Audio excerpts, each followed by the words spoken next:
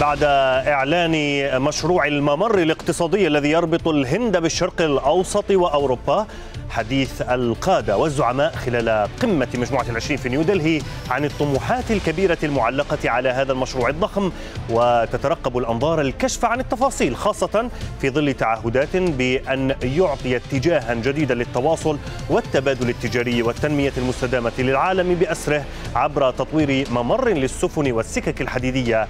فماذا عن أهمية هذا المشروع للمنطقة وكيف تستفيد منه الدول المشاركة فيه.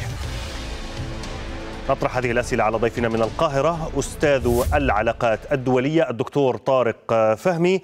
دكتور طارق أهلا بك معنا. ما مدى أهمية هذا المشروع الذي يربط الهند بالشرق الأوسط بأوروبا؟ هو بالتأكيد طبعا مشروع واعد ومشروع قائم على فكرة الشراكة المتفاعلة بين كل الأطراف ليس بين الدول الست التي سيبدأ بها المشروع.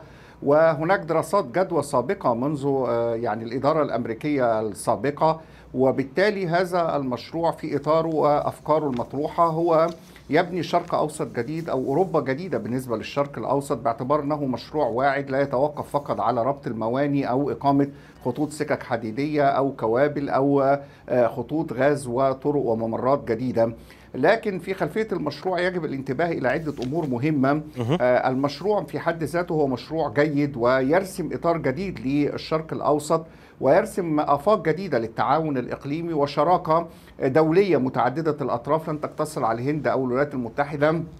إنما سينقل رسائل إلى أطراف أخرى عن الصين عن الأطراف الأخرى المناوئه وبالتالي السؤال المطروح هل سيتم خلال الستين يوم كما أعلن أنه ستبدأ بها الخطوات الأولى للمشروع. الأوروبيين يدعموا الفكرة بصورة كبيرة والاوروبيين كاتحاد أوروبي لديهم أيضا مشروع لمناوئه المشروع الخاص بالحزام والطريق بالنسبة للصين. أنت تعلم لديهم مشروع البوابة العالمية أو الدولية وهم لديهم طموح كبير في ربط هذا المشروع بمشروعات أخرى مرتبطة طبعا بإعادة ترسيم وفك التحالفات والتربيطات. الجزء اقتصادي لكن هو بالفعل هو محطة مهمة جدا ومسار كبير في رسم علاقات جديدة في الإقليم الجميع رابح لا يوجد خاسر بمعنى أن الرابح الجميع من الذين سينضوون لهذا. لذلك لا تفاجأ حضرتك بأن إسرائيل رحبت بالمشروع الأردن الدول الأخرى. أعتقد أيضا هناك دول أخرى ستلتحق بالمشروع بعد قليل يعني زي لبنان نعم. زي سوريا. هذه على ذكر هذه هذه النقطة دكتور طارق هل الطريق سالكه أمام الممر الاقتصادي الجديد؟ بمعنى أنه هل المناخ الآن العلاقات تراها يعني إن كان ليس فقط في الشرق الأوسط بل أيضا ما بين آسيا واوروبا وكذلك مع الولايات المتحدة والتوتر الحاصل كذلك مع الصين. هل برأيك ترى المناخ مواتيا لإنشاء الممر؟ يعني هل يعني هناك تحديات يجب مواجهتها؟ بالتأكيد هناك تحديات آنية وتحديات على اللونج ران أو المدى الطويل. جزء منها هو مرتبط بما يجري في بنية العلاقات الدولية الآن وهناك طبعا تجاذبات كبرى ربما تؤجل أو تعطل أو يعني تضع رحيل أمام تنفيذ هذا المشروع. لكن نتحدث نظريا المشروع جيد وقابل للتنفيذ وهناك طبعا شكل وإطار جديد. لكن هناك مشاكل وتحديات ومخاطر أيضا بالنسبة لأن الأطراف الأخرى المناوئة ليست الصين فقط يعني الموقف الروسي على سبيل المثال المشروعات والطرق البديلة الأفكار الخاصة طبعا بالأوروبيين في الإقليم.